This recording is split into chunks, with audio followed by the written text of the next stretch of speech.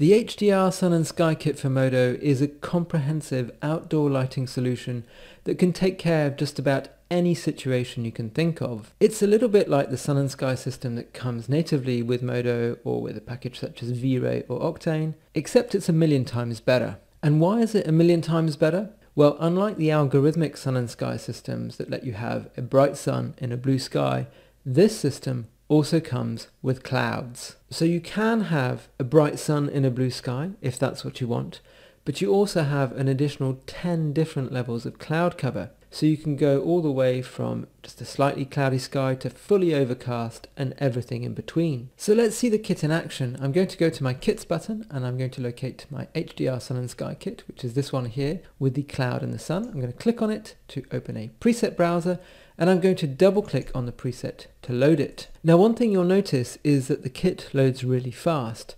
Behind the scenes there's over 200 images driving this kit, but they are not loaded into the scene when you load the kit. So if I expand the environment, you can see in fact there's only one image in there. The kit is in fact being streamed off disk, which means that when you load it, it doesn't consume a lot of memory and it doesn't slow Modo down to a crawl. So when you load the kit, you'll find a yellow control locator in your scene. Click on that and it will bring up some controls. And let's take a look in preview to see what things look like.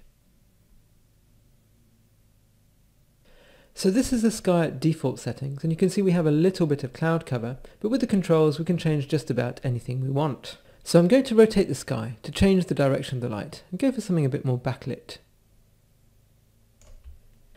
And that I think is giving me really nice results. But I can change the height of the sun so I can take it closer to the horizon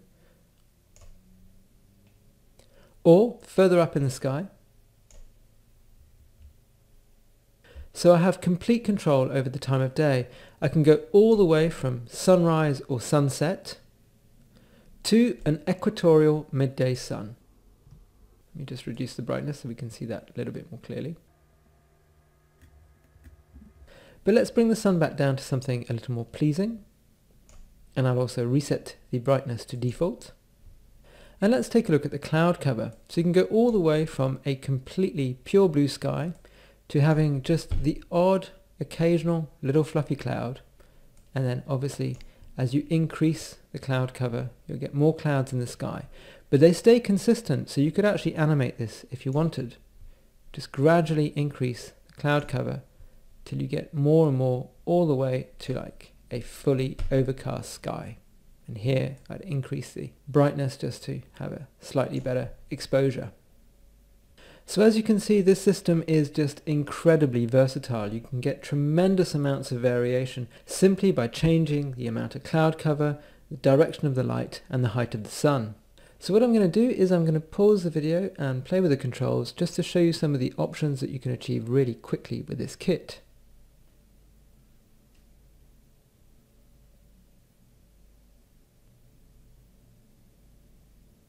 There's a huge amount of variety here. This kit essentially allows you to art direct outdoor lighting to get any result that you want. So moving on, the final set of controls we have here are the locator controls, which I'll just enable now. These work just like they do in my instant lighting kit. And once you enable the locator controls, you'll see an additional locator appears around the original control locator. And if you click on that, it's going to open the locator controls panel. And here you can position and scale the locator so that it's convenient to use in your scene. So as well as outdoor lighting, you can also use the HDR Sun and Sky Kit for ArchViz because it's great for creating realistic natural light coming through a window. And of course with all these controls you can set it to any time of day or any kind of weather. And you can also use it for animations, so I'll conclude the video with a short time-lapse animation that I made using the kit. Thank you very much for watching.